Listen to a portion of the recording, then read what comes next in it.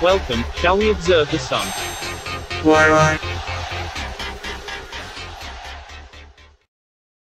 Be sure to watch to the end, to see the bonus clip of the odd creature caught on the security cam. Last week, NOAA released a list of space weather highlights from Solar Cycle 25. Among many significant events, the most spectacular was an X-1 class solar flare on October 28, 2021, blowing a megabubble in the Sun's atmosphere. NOAA's GOES 16 satellite recorded the explosion. Here's what the bubble looked like. What happened next surprised space weather forecasters. The expanding bubble pushed a CME out of the Sun's atmosphere. At the time, forecasters predicted it would hit Earth and trigger a strong geomagnetic storm. That's not what happened though. The CME passed mostly south of our planet, delivering only a glancing blow.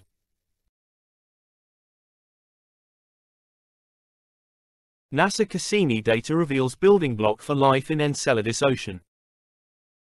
Enceladus is the sixth largest moon of Saturn, 19th largest in the solar system. It is about 500 kilometers, 310 miles, in diameter, about a tenth of that of Saturn's largest moon, Titan. Enceladus is mostly covered by fresh, clean ice, making it one of the most reflective bodies of the solar system.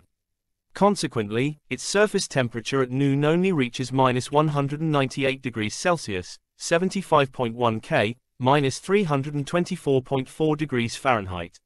Using data collected by NASA's Cassini mission, an international team of scientists has discovered phosphorus an essential chemical element for life locked inside salt-rich ice grains ejected into space from Enceladus. The small moon is known to possess a subsurface ocean, and water from that ocean erupts through cracks in Enceladus' icy crust as geysers at its south pole, creating a plume. The plume then feeds Saturn's E-ring, a faint ring outside of the brighter main rings, with icy particles. During its mission at the gas giant from 2004 to 2017, Cassini flew through the plume and E-ring numerous times. Scientists found that Enceladus ice grains contain a rich array of minerals and organic compounds including the ingredients for amino acids associated with life as we know it. Solar Activity Report for today. NOAA forecasters say there is a 30% chance of M-class solar flares today. That may be an underestimate. Yesterday, three different sunspots, 3331, 37, 38, produced Category M1 flares. The same three active regions appear capable of flaring again on June 17. Here they are seen through the SDO 131 filter. Up next, are the CME that have erupted from the Sun, the last two days thus far. They have all been on either side of the Sun, so none are earthbound.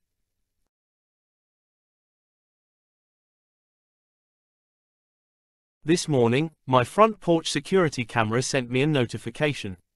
This is what is showed. To me it looks like something with horns, that ducks down when the blue record light comes on, then if you look at the shadow on the wall, it seems to have a stick that it taps the camera lens with.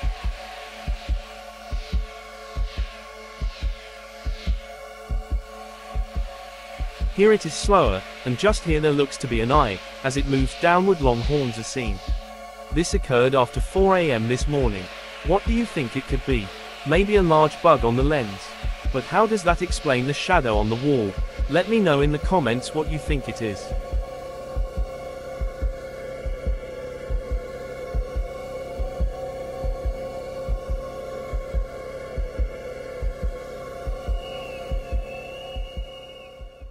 And as always, sit back, relax, and let me keep my eye on the sun for you.